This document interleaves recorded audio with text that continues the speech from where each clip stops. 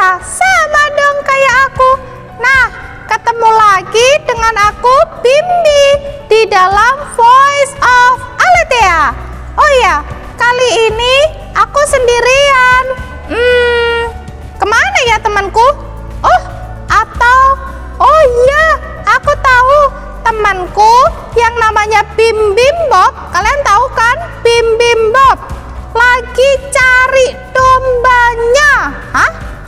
Cari domba? Iya, ternyata dia lagi kehilangan dombanya. Kasihan. Gimana ya ceritanya Bim Bim Bob lagi cari dombanya? Hmm, sebelumnya yuk kita berdoa. Ah, Bimbi yang akan pimpin dalam doa ya. Teman-teman semuanya sikapnya berdoa ya. Yuk semuanya berdoa. Ah, teman-teman semuanya sikapnya berdoa ya. Yuk semuanya berdoa.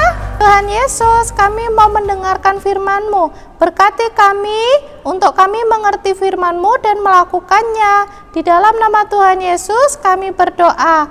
Amin. Ngomong-ngomong Bim Bim Bob teman-teman, aku ingat sebuah cerita firman Tuhan. Jadi dulu ada seorang gembala yang mempunyai banyak sekali domba. Eh, kira-kira ada seratus banyaknya. Wow, banyak kan? Nah, pokoknya dombanya dia banyak, banyak, banyak sekali. Nah, kalian tahu setiap hari gembala membawa domba-dombanya ke padang rumput yang hijau, di mana domba-domba itu bisa makan rumput sepuasnya. Wah, pokoknya senang sekali. Nah, kalau mereka haus, gembala membawa mereka ke air yang tenang. Mereka minum sampai puas. Pokoknya domba-domba itu senang sekali. Dan gembala itu juga senang. Pokoknya keren deh. Tapi teman-teman, satu kali di suatu sore ketika gembala itu ingin membawa domba-dombanya untuk pulang ke kandangnya, tiba-tiba hilang. Ya, ada yang hilang. Kalian tahu enggak? Dari 100 domba ada satu yang hilang. Waduh, si gembala bingung sekali. Ke mana dia ya? Kalian tahu, gembala ini khawatir dan akhirnya gembala ini mencari domba yang hilang itu. Sampai suatu kali akhirnya di mana ya domba kecil itu? Nah, lalu si gembala membiarkan domba-domba lain sendirian dan ia pergi mencari domba yang hilang itu. Yang satu itu. Nah, lalu ia pergi mencari sambil memanggil, "Dombaku, dombaku, di manakah engkau? Mbek, mbek, domba." Tapi agak lama tidak mendengar jawaban. Lalu tiba-tiba dari jauh gembala mendengar suara kecil, "Mbek, mbek." Dan domba kecil itu jatuh dalam semak-semak duri.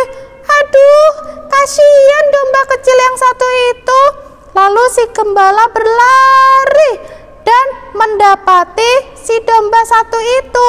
Lalu ia mengambil dan menggendongnya. Ia juga membawa pulang dan disatukan kembali dengan 99 domba yang lainnya. Kalian tahu si gembala ini senang sekali karena sudah menemukan domba yang satu tadi.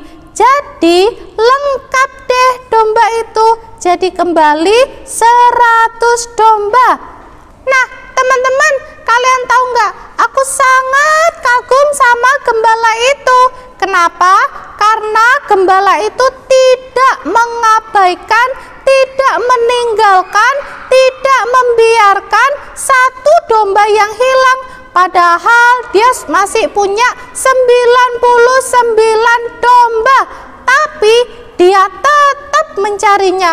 Keren pol pokoknya gembala ini ya teman-teman ya. Nah, teman-teman kira-kira Bim Bim Bob nemuin enggak ya dombanya?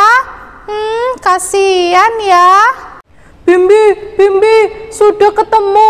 Dombaku sudah ketemu. Aku senang sekali. Oh ya Bimbi, nanti kita ketemu lagi ya. Aku mau kasih makan dombaku yang hilang kemarin. Kasihan, dia pasti kelaparan.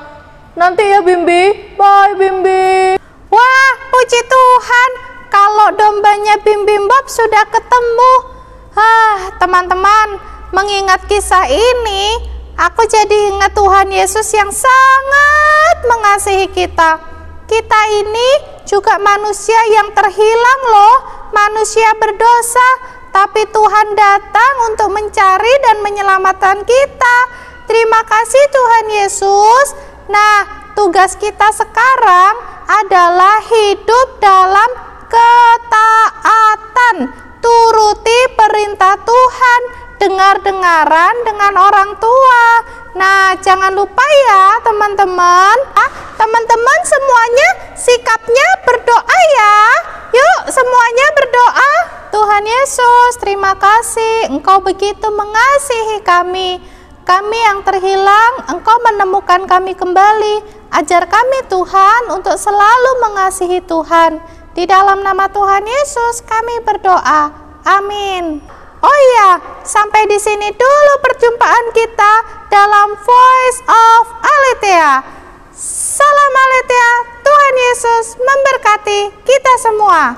Bye. Voice note hari ini adalah Allah mengasihiku. Allah mengasihiku. Jangan lupa laporannya ya.